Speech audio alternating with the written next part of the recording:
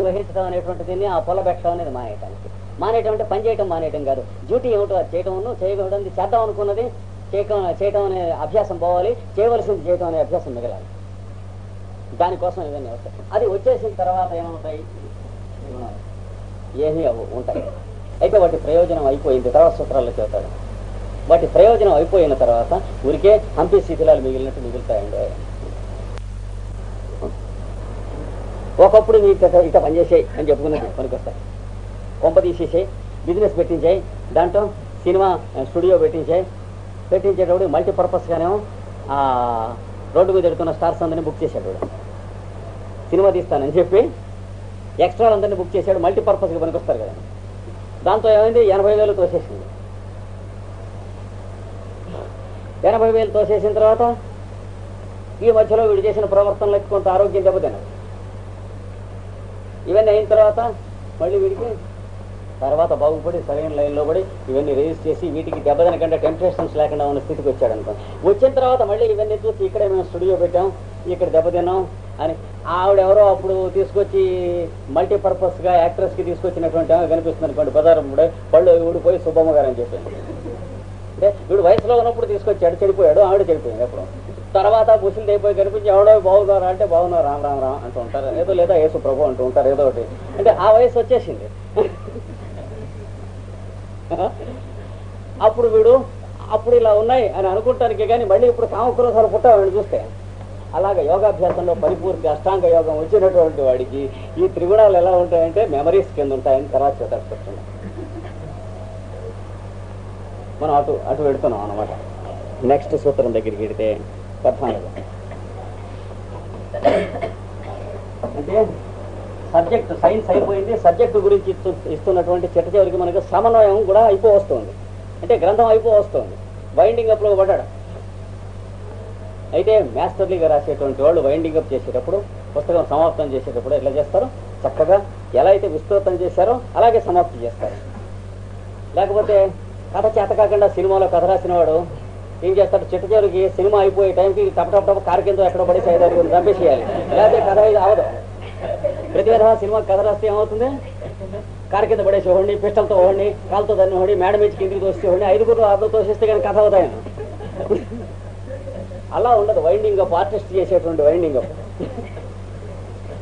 పుస్తకం పూర్తి అవడం అనేది సమాప్తి అవడం అనేది చాలా అద్భుతంగా చేస్తాడు ఇక్కడికి వచ్చేసి.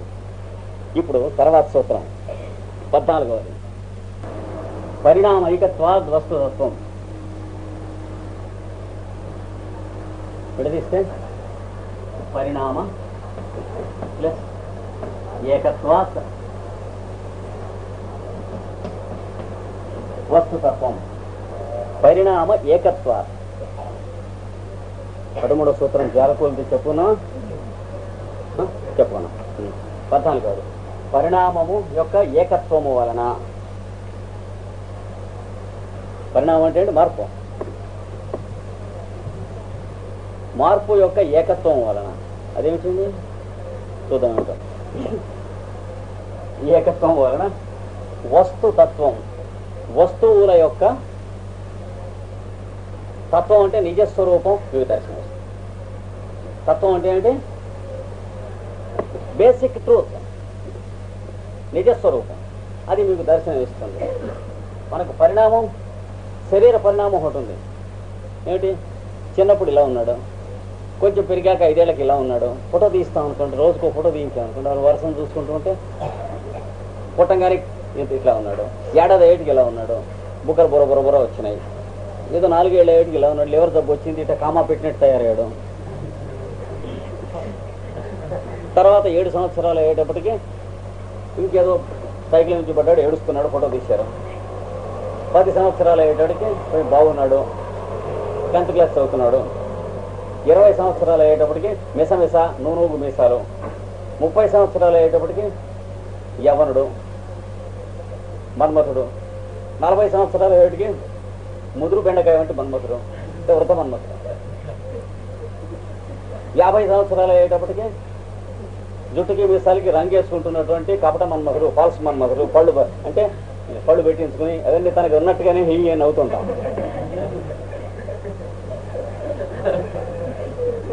వాడివే ఆ ఫోటోలన్నీ కదా?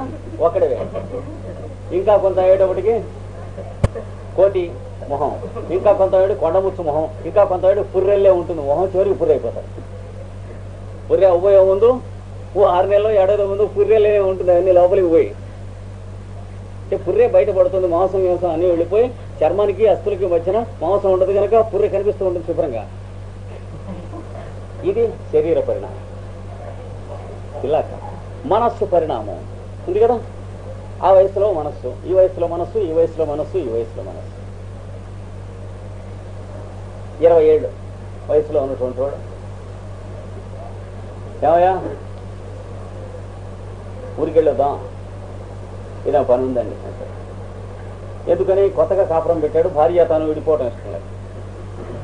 సో అధికారాత్ ప్రమత్త అన్నాడు? రా, ముప్పై ఏళ్ళు. వాడే ఏమండి? క్లబ్కి వెళ్దాం అంటాడు. నలభై ఏళ్ళు. క్లబ్ నుంచి ఇంటికి రాడు? యాభై ఏళ్ళు. ఇంటి వచ్చి క్లబ్కి వెళ్దాం మారుతుందా లేదా సో? అంటే అన్సోషల్ హ్యాబిట్స్ వస్తాయి ఈ లోపల. వాడే ఉంది వీడే ఉంది అని ఇట్లాంటివన్నీ వచ్చేస్తాయి. వాడెంత వాడే గొప్ప ఎంత ప్రతివాడు ఎవడు గొప్ప వాడిది ఇంట్లోనే బంది కుక్కలే కూర్చుని అంటే సెడెంటరీగా తయారవుతాం. ఇలాగా మనస్సు యొక్క పరిణామం. శరీర పరిణామం మనస్సు పరిణామం. అలా కాక జీవ పరిణామం. మొట్టమొదట మనం మినరల్స్గా పుట్టాం. అందులో మినరల్ కాన్షియస్నెస్ తర్వాత ప్లాంట్స్ అంటే వృక్షములుగా వచ్చాం. ప్లాంట్ కాన్షియస్నెస్ తర్వాత జంతువులుగా వచ్చాం యానిమల్ కాన్షియస్నెస్ తర్వాత హ్యూమన్ బీయింగ్స్గా వచ్చాం మానవులుగా వచ్చాం మానవ ప్రజ్ఞ. ఇది కొన్ని కోట్ల సంవత్సరాలు మనం అనుభవిస్తున్నాం. ఒక్కొక్కళ్ళం ఈ చక్రం అంతా తిరిగి పరమపద సోపాన పఠంలాగా నిత్యాల మించి పాముల మించి మనం చేసుకుంటున్న సత్కర్మలు దుష్కర్మల మించి పైకి వెళ్ళి కిందికి వెళ్ళి గిరగిరా తిరుగుతూ వస్తున్నాం. ఇది ఒక పరిణామం. అలాగే ప్రకృతిలో ఉన్న పరిణామం. అలాగే పంచభూతాల పరిణామం చూస్తాం. ఈ నది ఐదు వందల ఏళ్ళ కిందట అక్కడ ఉండేది అనమాట ఇప్పుడు ఇటు వచ్చింది. ఏం చేత ప్రాజెక్టులో పెట్టి నాగార్జున సాగర్ వెనక్కి లాగారనుకోండి ఇదివరకు నాగార్జున సాగర్ ఎక్కడ ఉండేది? ఏది? మూడు వందల ఏళ్ళ కిందట ఇప్పుడు ఎక్కడ ఉంది? అంటే గోదావరి ఇదివరకు ఎక్కడ ఉండేది? ఇప్పుడు ఎక్కడెక్కడికి వచ్చింది? కొత్త చోట్లకి వచ్చింది. అట్లాగే కృష్ణ శ్రీశైలం ప్రాజెక్టు పెట్టాక ఎటు నుంచి ఎటు ప్రవహించింది? అంతకుముందు ఎటు ప్రవహించేది? ఎడలనే లేదా? ఇది ఏమిటంటారు? ప్రకృతి పరిణామం ఎన్ని పరిణామాలు ఉంటూ ఉండగా పరిణామ ఏకత్వం అనేది ఒకటి ఉంది ఆ పరిణామం ఏమిటండో అన్నారు. అంటే చోటులోంచి స్పేస్లోంచి చైతన్యం యువతలకు వచ్చింది పరిణమించింది దాంట్లోంచి త్రిగుణాత్మకమైన ప్రకృతి వచ్చింది. దాంట్లోంచి శక్తి వచ్చింది మహాశక్తి. అంటే ఎనర్జీ. దాంట్లోంచి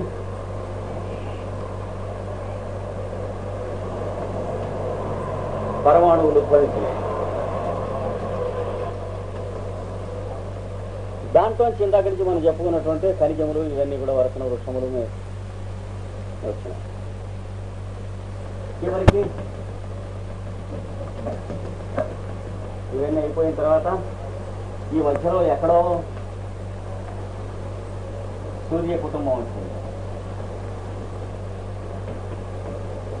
అట్లాంటి సౌర్య కుటుంబములు లక్షలు మనం చూస్తున్నాం. ఒక్కో సూర్య కుటుంబంలో జీవరాశి వస్తున్నాయి. ఇవన్నీ అయిన తర్వాత మళ్ళీ సూర్య కుటుంబం ఇవన్నీ దీంట్లో తోటలోకి వెళ్ళిపోతాయి. ఎక్కడికి వెళ్ళిపోతున్నాయి? తోటలోకి వెళ్ళిపోతున్నాయి. ఇలాగ బేసిక్గా అన్నిటికీ వెనక ఉన్న పరిణ పరిమా పరిణామం ఉంది చూడండి. అది ఏకత్వం ఒకటే పరిణామం జరుగుతుంది. దాంట్లో మీరు చూస్తున్న కోటాను కోట్ల పరిణామాలు వేరువేరుగా జరుగుతున్నాయండి. అంటే ఒక పెద్ద ఓడ మీద ప్రయాణికులు వెళుతూ ఉంటారు. కొన్ని వేల మంది ఉండొచ్చు కదా? ఒక్కోడు బ్రహ్మచారి ఉంటాడు. ఒక్కొక్క రూములో దంపతులు ఉంటారు. ఇంకో రూములో బిజినెస్ పార్ట్నర్లు ఉంటారు. ఇంకో రూములో ఇద్దరు తన్నుకుంటూ ఉన్నటువంటి వాళ్ళని ఒకనోడు కూలీ చేద్దామని అనుకున్న వాళ్ళని సంఖ్యలు లేసే గదిలో పడేసి ఉంటారు. అండ్ అండమానికో ఎక్కడికో తీసుకెడతాం పోలీసులు. ఇట్లాగే ఉంటారు. ఇంకొక చోట ఆ ఓడను నడుపు వారు ఉంటారు. ఇంకో చోట ఓడను నడుపు వాళ్ళ యొక్క అధికారులు ఉంటారు.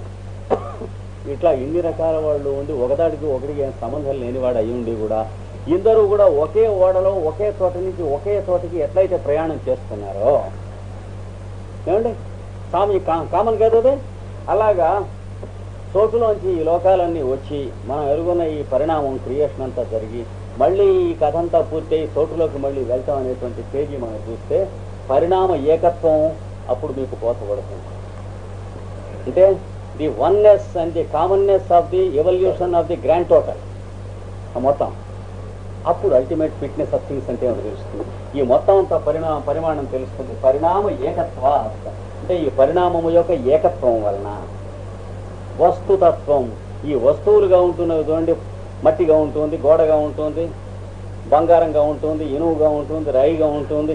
ఇవన్నిటికీ కూడా చోటే ఇన్నిగా అవుతుంది అని తెలిసి గుర్తుంచుకున్నటువంటి వాడికి ఎలా కనిపిస్తుంది? వస్తువు యొక్క నిజస్వరూపం తెలుస్తుంది. ఈ చోటులో ఉన్నటువంటి వాడి పేరేమిటి?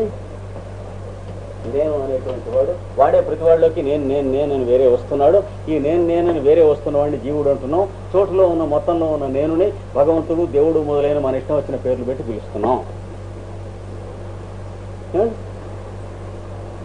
ఇక్కడికి తీసుకొచ్చాడు మాకు ఈయన. కనుక ఇందులో చెప్పింది ఏమిటి? ఈ సృష్టిలో సమస్తంలో ఉన్న నీలోను నీ త్రిగుణాల్లోంచి నువ్వు వచ్చి పరిణామం చెందేటువంటి దీన్ని. ఇది ఏకత్వం అంటే ఒకే దాంట్లోంచి ఇవన్నీ జరుగుతూ ఉండటం చేత. ఏకత్వం చేత. వస్తుతత్వం. ఈ వస్తువుల యొక్క తత్వం నీకు తెలుస్తుంది. ఇప్పుడు తెలుసుకో. పది రోజుల కిందట పదిహేను రోజుల కిందట తిన్న తిన్న డిన్నరు ఈవేళ దాకా ఎందుకు గుర్తున్నది అంటే ఈ ఏకత్వం వల్లనైనా ఏమండి? ఎవడి గదిలో వాడు ఇష్టం వచ్చినట్టుగా ఓడలో ప్రవర్తన చేస్తూ ఉన్నా మా గదిలో నేను రామాయణం చదువుకుంటాను ఓడలో కూర్చొని. వారి గదిలో వారు క్యారం బోర్డు ఆడుకుంటారు వారి గదిలో వాళ్ళు చెస్ ఆడుకుంటారు ఇంకోళ్ళ గదిలో వాళ్ళు దెబ్బలాడుకుంటూ ఉంటారు ఏదో ఆడుకుంటూ ఉంటారు ఎవడు ఆడుకునే వాడిని ఇట్లా చేస్తూ ఉన్నప్పటికీ ఓడలో పెద్ద ఇన్సిడెంట్ ఏదన్నా పెద్ద ఎక్స్ప్లోషన్ జరిగింది అనుకోండి పెద్ద డామ్ అని పేలింది అనుకోండి ఏదైనా. ఓ పది రోజులు అయిన తర్వాత ఇన్ని ఆడుకుంటూ ఏడుస్తూ కొట్టుకుంటూ ఉన్న వాళ్ళు ఇందరికీ కూడా ఆవిడ పేలిందని గుర్తుండదు? అలా ఓడ మొత్తంలో జరిగినటువంటి సన్నివేశాలు ఇందరికీ ఎట్లయితే గుర్తుంటాయో ప్రతి ఒక్కళ్ళలోనూ కూడా సమానంగా జరిగేటువంటి పరిణామం ఉన్నది. ఇవన్నీ కూడాను ప్రతి వాళ్ళలోనూ అడుగున పనిచేస్తున్నాయి. దానివల్ల మనకి కాలంలో భూతకాలంలో జరిగినవి భవిష్యత్ కాలంలోకి మనం గుర్తుంచుకుంటానికి తాడుపోనుకుంటాం. దీనికోసం చేస్తున్నాం ఉండోయ్ దీని వలన. కంటిన్యూటీ దేనివల్ల ఉందో చెబుతున్నాడు సృష్టిలో. అందుకని ఏం జరగాలి? ఇది ఒక్కటే మిగలాలి వస్తుతత్వం వస్తే. మిగిలిన వాటి మధ్య ఉన్నటువంటి ఈ గుర్తులన్నీ పోవాలి. మన కంటిన్యూటీ అంతా పోవాలి ఎవడికి వాడికి. అంటే నా పది రోజుల కిందట మీకు నాకు ఏం సంవాదం జరిగింది? నెల రోజుల కిందట ఆయనకి నాకు లావాదేవీలు ఏం జరిగినాయి? కిందటి సంవత్సరం ఆయనతో నేను బిజినెస్ చేస్తూ ఉంటే ఆయన నన్ను అన్యాయం చేశాడు. లేదా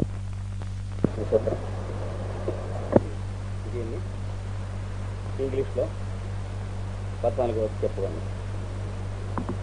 The manifestation of the objective form is due to the one pointedness of the effect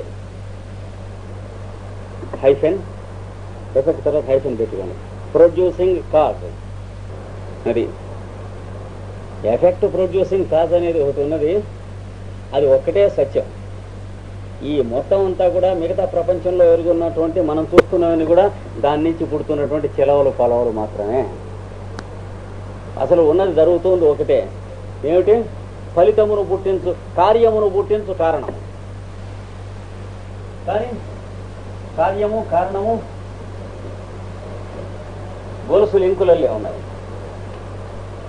అంటే దీనికి కారణం ఇది దీనికి కారణం ఇది దీనికి కారణం ఇది దీనికి కారణం ఇది అని మనం అర్థం చేసుకుంటున్నాం. కానీ వీటన్నిటికి కారణం వీటన్నిటిలో అంతర్యామిగా ఎట్లా ఉన్నది? అయస్కాంతంగా ఉన్నది. ఇది దాన్ని ముట్టుకునేటప్పటికీ ఇవన్నీ ఒకదాన్ని ఒకటి ఆకర్షించుకునేటువంటి కారణం అన్నిట్లోనూ అంతర్యామిగా ఉంటుంది కానీ ఏ ఒక్కటి రెండవ దానికి కారణం కాదు.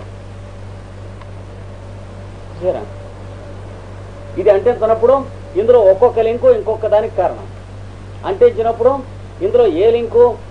దేలింకొక్కి కారణం కాదు ఇన్నిట్లోనూ ప్రసరిస్తున్నటువంటి మ్యాగ్నెటిజం అయస్కాంతీకరణ ఏదైతే ఉందో అది అన్నిటిని సమానంగా ఉండటానికి ఈ సృష్టి మొత్తం ఇలాగ యూనిట్గా ఉండటానికి మీ శరీరం మొత్తం ఒక యూనిట్గా పనిచేస్తూ ఉండటానికి ఒక్కొక్క యాటమ్ ఒక యూనిట్గా పనిచేస్తూ ఉండటానికి ఒక సోలార్ సిస్టమ్ ఒక యూనిట్గా పనిచేస్తూ ఉండటానికి అది కారణం. ఇది దీని తత్వం. మళ్ళీ రేపు కంటిన్యూ చేసుకుంటాం. స్వస్తి ప్రజాభ్య పరిపాలయంత. న్యాయేణ మార్గేణ మహీం మహీషా. గో బ్రాహ్మణేభ్య శుభమస్తు నిత్యం లోకా సమస్త సుఖినో భవంతు చేశాను నిన్న అంతే కదా పరిణామైకత్వాద్ వస్తుతత్వం అయిందా పదిహేనవ సూత్రంలోకి వెళ్దాం. ఆ పై సూత్రంలో ఒక ప్రశ్న పుడుతుంది మనకి. పుట్టాలి. న్యాయంగా మూలమైనటువంటి వస్తువు ఒకటే దాని పరిణామం మొత్తం అంతా జరుగుతుంది ఇన్ని పరిణామాలుగా అని అన్నారు కదా. అన్నప్పుడు ఇన్ని రకాలుగా ఒక్కొక్కడికి ఒక్కొక్క రకంగా చిత్తవృత్తి ఎందుకు రావాలి అనే ప్రశ్న రావద్దు మరి. ఇప్పుడు అంతా ఒకటే పరబ్రహ్మనండి పరమాత్మనండి అందులోంచే కదా వస్తుంది. వస్తువు ఉన్నప్పుడు మళ్ళీ ఒక్కొక్కడు ప్రతివాడు కూడా పరమాత్మలో ఉన్నటువంటి ఒక నిపురవో మొక్కో లాంటి వాడే కదా. అలాంటప్పుడు వీడికి మెడకాయ మీద తలకాయ ఉన్నవాడికల్లా ఒక్కొక్క రకమైనటువంటి అభిప్రాయం వస్తుంది ఏమిటి అని రావాలి ప్రశ్న. దానికి ఇప్పుడు చెప్పబోయే సూత్రం. అంటే నిన్నటి సూత్రానికి యాంటీథీసిస్ అని చెప్పొచ్చు ఈ సూత్రం. ఇది సూత్రం. వస్తు సామ్యే చిత్తభేద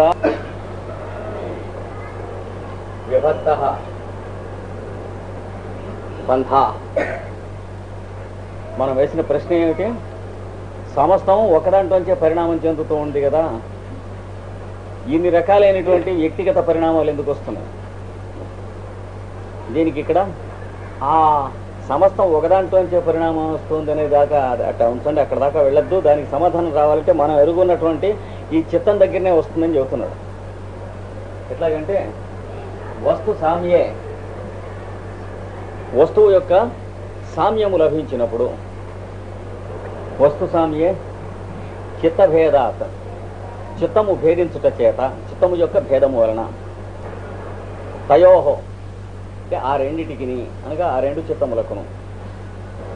విభక్త అంటే విభజింపబడినది స్పంధాహ అంటే మార్గము.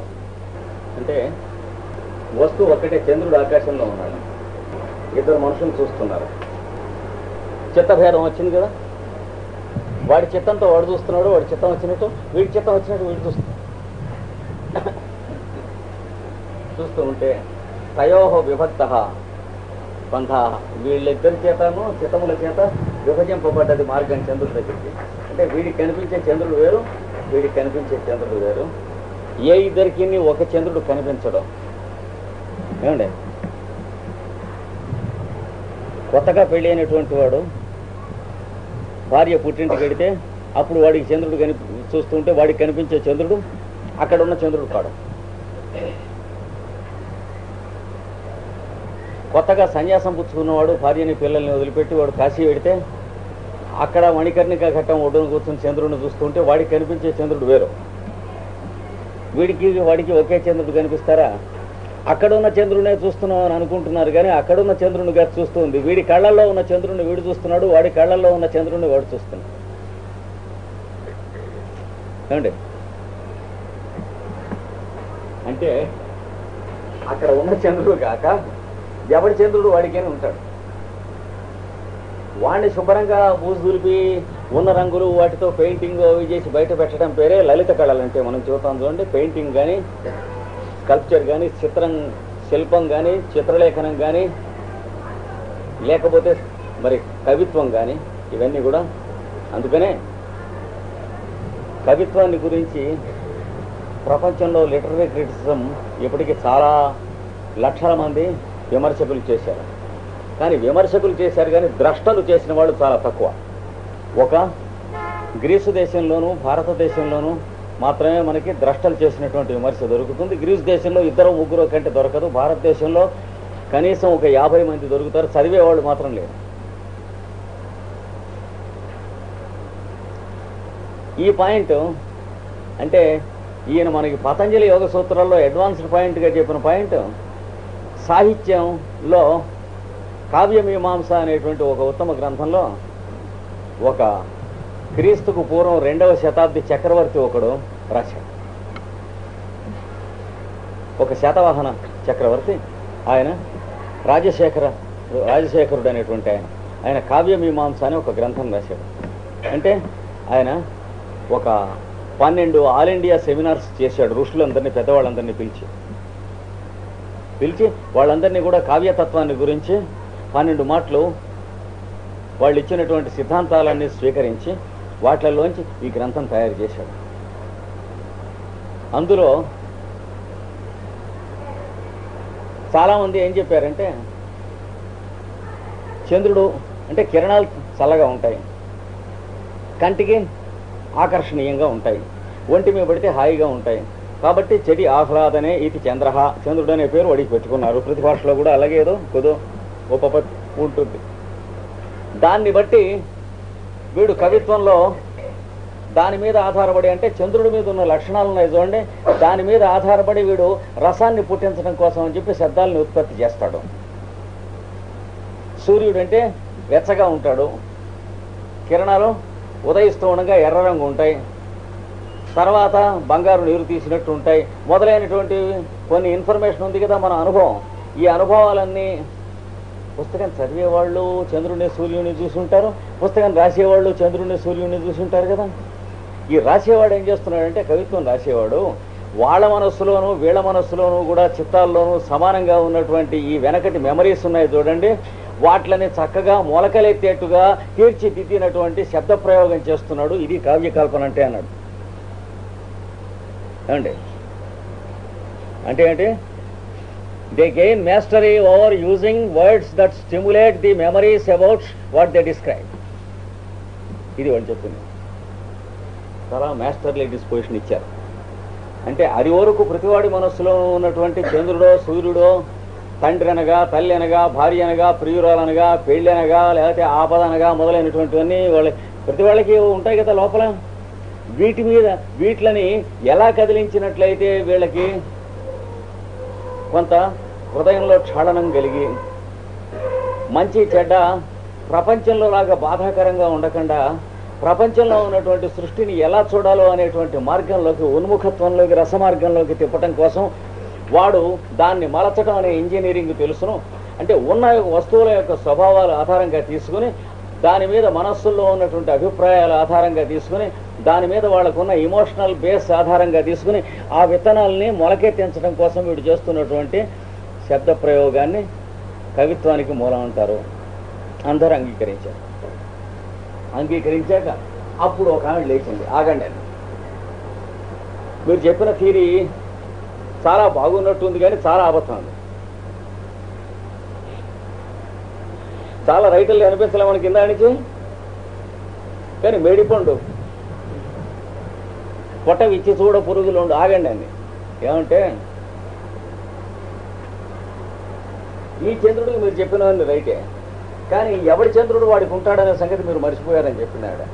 అవంతి సుందరి అని ఒక చాలా పెద్ద స్కాలర్. ఆల్ ఇండియా లెవెల్లో వాళ్ళందరినీ కూడా కాంట్రడిక్ట్ చేస్తే అందరూ అంగీకరించి తలలు ఉంచుకున్నారు ఆవిడ థీరియా ఫైనల్గా తీసుకున్నారు చివరికి. ఆవిడ ఏమన్నది ఒక్కొక్క వస్తువుకు ఒక్కొక్క నీత స్వభావం ఉంటుంది. చూసారా? చింతపండు. అంటే ఇలాగా నల్లగా ఉంటాం మెత్తగా ఉంటాం నాలుక మీద వేసుకుంటే పుల్లగా ఉంటాం. ఇది చింతపండు లక్షణం. ఇది చింతపండుకు సంబంధించినవే కదా? సంబంధించినవే. అలాగ అనుకోకండి. దీనికి చింతపండు రాస్తే పుల్లగా ఉంటుందా? నాలికకు కూడా సంబంధించినవి.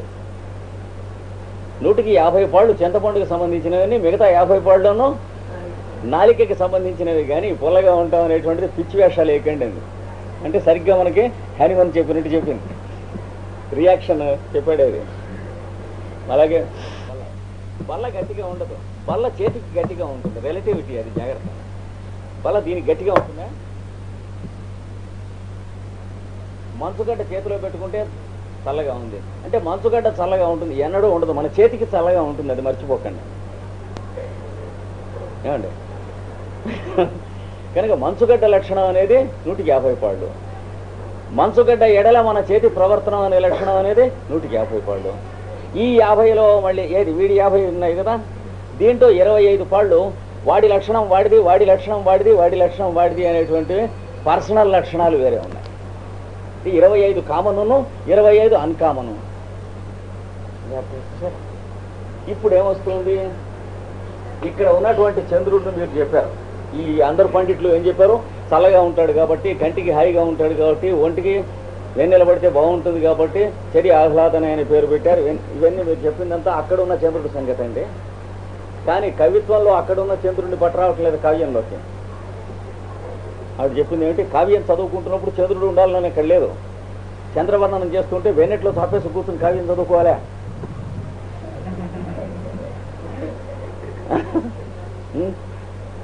చంద్రుడు అయితే పర్లేదు కానీ. అది ఏదో యుద్ధం వర్ణన చేస్తున్నప్పుడు ఏం చేయాలి? ఓ వంద మందిని అక్కడ యుద్ధం చేయమని ఇక్కడ చదువుకుంటే ప్రతి కావ్యం చదువుకునే వెధవ కోసం నువ్వు యుద్ధం ఎవడు లేదా దుష్యంతుడు శకుంతల ప్రేమించుకున్నారట అనేది చదవాలంటే అప్పుడు ఒక కాలి అక్కడ ఒక తాలింఖానా పెట్టి ఒక నాయకుడు నాయకుని ప్రేమించుకునేందుకు ఏర్పాటు చేసి అప్పుడు చదవాలా? అప్రతిష్ట పాలు కదండి. వాడు ఎవడో గయ వెళ్ళాట వెళ్ళేటప్పటికి ఏదో అక్కడ పండ ఉన్నాడు వాడికి డబ్బులు మీ మీ నాన్నగారు బాగున్నారా అన్నట లేరు. అయితే మీ నాన్నగారికి పిండం ఏమన్నట అంటే ఏదో వాడు వసూలు వాడు చేసుకుందాం. వీడు అన్న అయిపోయిన తర్వాత కూర్చునే టైంకి మీ ఆవిడని కూడా రమ్మనండి పీట మీద కూర్చుంటా మా ఆవిడ రాలేదు నేను ఒక్కడే వచ్చాను అన్నట్టు గయకి అరే ఛాన్స్ పోయింది అనుకున్నాడు అనుకో సరే ఈ మాట మా ఆవిడ నేను వచ్చినప్పుడు వస్తా ఉంటే పర్లేదు ఇప్పుడు ఉన్నట్ట డబ్బులు ఇస్తే మీ ఆవిడకి ప్రత్యామ్నాయంగా పీట మీద కూర్చునేందుకు వచ్చేవాళ్ళు ఉన్నారు ఆడవాళ్ళు ఊళ్ళో అది ఎలా ఉంటుందో? శకుంతల దుష్యంతులు కథ చదవాలంటే ఒక నాయికా నాయకుల్ని మనం కిరాయికి మాట్లాడుకురావాలంటే అలాగే ఉంటుంది. అందుకని ఇలాంటి పిచ్చి థీరీలు తీకండి అన్నాడు. ఇవి చెప్పిన పాయింట్స్ అన్ని డిస్కస్ చేసింది. చేసి వెన్నెల వర్ణిస్తూ ఉన్నప్పుడు వెన్నెల చదువుకుంటున్నప్పుడు వెన్నెల గురించి ఆనందిస్తున్నప్పుడు వెన్నెట్లో కూర్చుంటాం లేదు కదా. కనుక ఆ చంద్రుడు కాదు కదా వాళ్ళు అనుభవిస్తుంది అండి సూర్యోదయాన్ని గురించి ఆనందిస్తున్నప్పుడు సూర్యోదయంలో కూర్చొని చదువుకుంటాం లేదు కదా. కాబట్టి సు- తూర్పున ఉదయిస్తున్న సూర్యుడు కాదు కదా వాళ్ళు ఆనందిస్తున్నవాడు. కనుక ఇప్పుడు ఒక సూర్యుడు సమస్త జీవులకు తాను ఒక్కొక్కడై తోచిపోలిక తప్ప తాను ఒక్కొక్కడై తోచిపోలిక కాదు. అంటే ఎవడు సూర్యుడు? వాడికే పర్సనల్ సూర్యుడు. అసావాదిక్య. అందుకని ఆవిడ ఏముందంటే ఈ అడుగున మళ్ళీ ఇంకో చంద్రుడు ఉంటాడు ఎవరికి వాడు? ఎవరు ఎత్తిన వాడికి ఇంకో చంద్రుడు ఉంటాడు ఇంకో సూర్యుడు ఉంటాడు ఇంకో సూర్యుడు కదా? ఊహ నక్క వేరే ఉంటుంది అక్కడ ఉన్న నక్క కాకుండా వీడి మనసులో ఉన్న నక్క వేరే అక్కడ ఉన్న కక్క కుక్క కాక వీడి మనసులో ఉన్న కుక్క వేరే. పిల్లు ఉందనుకోండి ఒకటి పిల్లు వచ్చేటప్పటికి ముద్దు పెట్టుకుంటాడు. పని అవుతుంది వెళ్ళొస్తాను. వాడికి అదివరకు ఏదో పని వెళ్ళటానికి పెడుతుంటే పిల్లు ఎదురుకుండా వచ్చింది పని అయింది. అంచేత వాడి పిల్లంటే ముద్దు. ఇంకోటి పిల్లి అనేది భయం దడ అనమాట ఎందుకంటే వాడు పిల్లి ఎదురుకుండా వచ్చింది బజార్కి వెళ్ళేటప్పటికి కారు కింద పడ్డాడు ఆరు నెలలు హాస్పిటల్లో ఉన్నాడు. అంటే వాడి పిల్లి వేరు వీడి పిల్లి వేరు. కనిపించేది మూడవ పిల్లి వీడి పిల్లి కాదు వాడి పిల్లి కాదు. కనుక కనిపించేది ఆబ్జెక్టివ్ పిల్లి మనం చూసేది సబ్జెక్టివ్ పిల్లి. ఎవడి పిల్లి వాడిదే? మాది గట్టుపల్లి. ఇది మా నాన్నగారు ఎకరాల వారి ఇంటికి